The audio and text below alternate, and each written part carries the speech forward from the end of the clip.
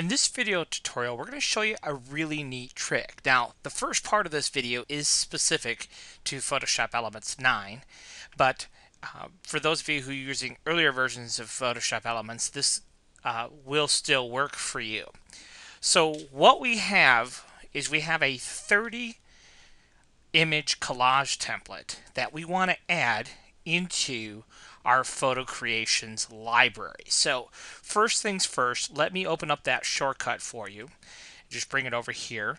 And so here on my computer, I'm using a Windows Vista machine. So this would be true with Windows Vista uh, and Windows 7. You're going to copy the two files that you downloaded, which is an XML file and the collage file itself. You're going to copy that into C Program Data Adobe Photoshop Elements 9 Photo Creations. Okay, so that's your first step. Now, if you're using uh, Windows uh, XP, it would just be something like C Documents and Settings, blah blah blah. It's very similar path. Okay, there's plenty of information on the forum, uh, the proper paths.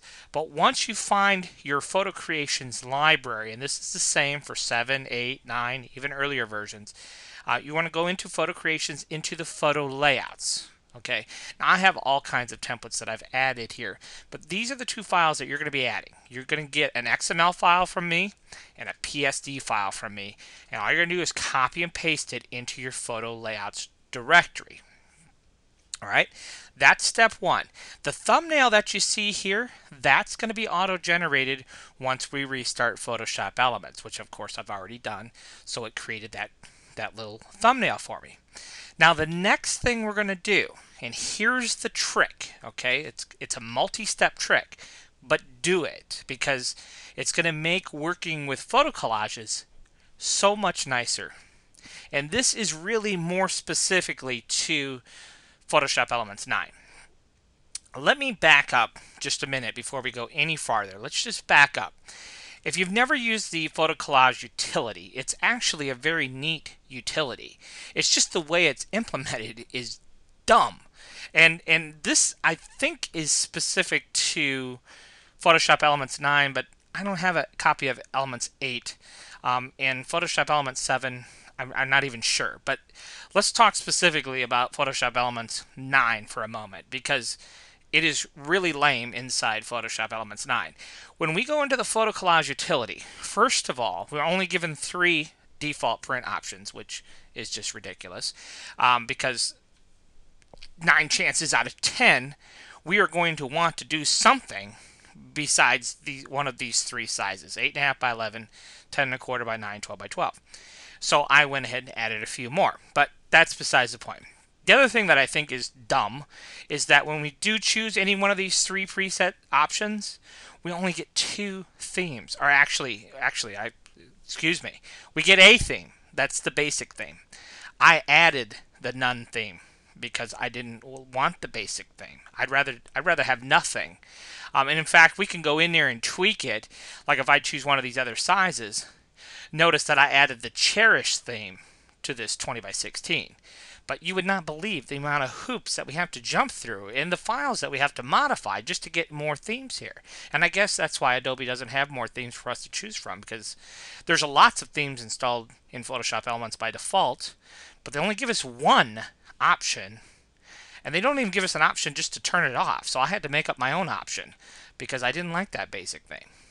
But at any rate, here's where the real kicker is, and this is what we have to modify in order really, in my in my estimation, for the photo collage utility to even be worth a lick, is that no matter which one of these three sizes we choose, we have one basic theme, that's it, and then the collage that it creates by default is what you see right here every time every time. Now, what is so significant about that is that this particular collage only contains eight images. So in in the example of my heart collage, which contains 30 images, what would happen is if we leave it by the default, see here it says autofill with selected images. So what's going to happen is if we generate this collage, it's going to automatically fill eight openings. Now, once it's generated what I call this dummy collage, we can actually go in and choose a different collage template altogether. It does give us that option once we get past this point.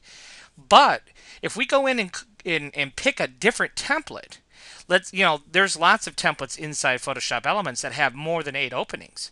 So if we choose a different template that says has like 19 openings, let's say for example, okay, and yes, it will replace this dummy 8 collage template, no problem, but it's only going to place automatically 8 of our 19 images. All the other 11 images one by one from the from the from the project bin. And to me, that's just dumb because who wants to do that?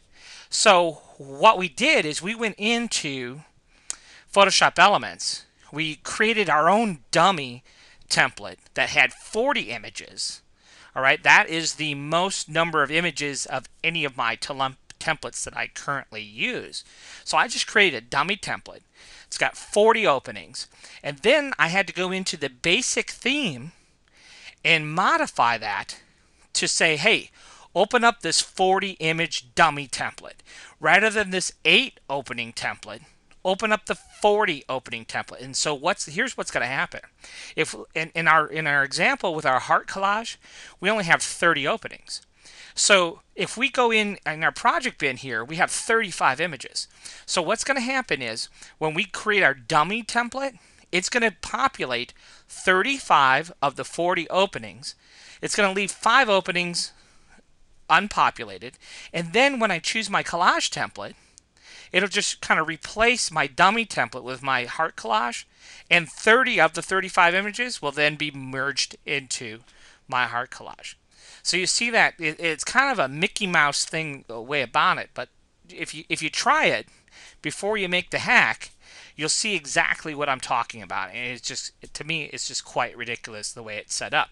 In earlier versions of Photoshop Elements, we had a menu where we could pick from a limited number of sizes. We had a separate menu where we could choose from any one of a dozen themes. And then we had a third menu where we could actually pick the layout we wanted to build and have the autofill option. But now in this version, it gives us this what I call this dummy collage of eight openings. And so if we have a collage template with more than eight openings, we have to populate each opening one by one. Now, like I said, in the example of my heart collage, who wants to do that? Populate 30 openings one by one? That just takes a long time. So here's what I did. Let's go back into our photo creations library here. Photo layouts. So what I did was I just typed in 19. Now initially when I when I look at my search it doesn't show anything so I went into advanced search and choose include non-index. And so what I did was I took this 1 by 119, copy it over here into Photoshop Elements. Okay, this is um, one of the standard templates that come with Photoshop Elements. Let's go back over here to the Edit tab. So then all I did was I just dragged, just made a selection of all of them and choose Duplicate Layers. Okay, so now we have a duplicate of all those layers, just one smack right, right on top of one another. Perfect. And then all I did was hit File, Save As, and I just changed the number right here from 19 I changed it to 40 when, when actually there isn't actually 40 images. But I just changed it to 40, okay? So uh, it would actually be what? Uh, 38 images, okay? So that's all I did.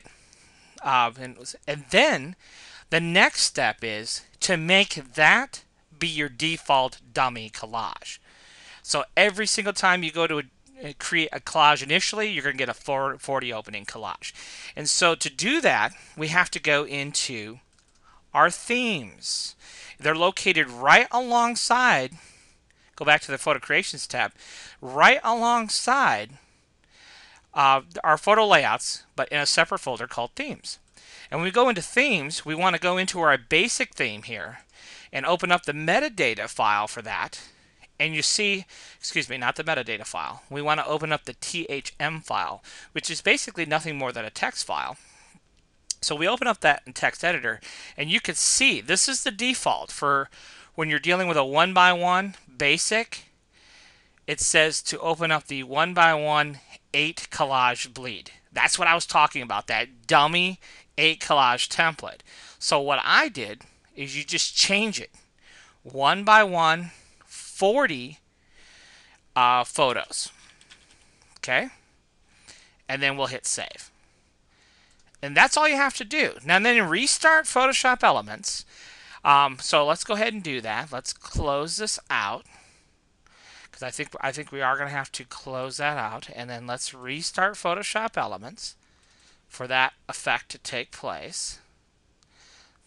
Might, we may not have, have to uh, reset it just by modifying the theme, but we'll go ahead and restart Photoshop Elements. Sometimes my computer's a little slow. So now Photoshop Elements is restarted. So now we're going to come in here and we're going to choose to show file selected in organizer, which I have plenty of files selected in my organizer. Come over to the create tab. And then this is we're going to go to photo collage, okay? And we're going to choose the 12 by 12 size, which in, in Photoshop Elements is defined as a one by one layout. So we have this basic, Notice it says autofill with selected images. I have the basic theme selected and I hit OK. And it's going to go to town and it's going to build Remember, it's going to build that 40 collage template, or what I call 40 collage, but it's actually only 38. So it's building the page, and now it's going to place all of my images. Now I'm going to pause the video until it gets done placing the images, because that'll probably bore you to death.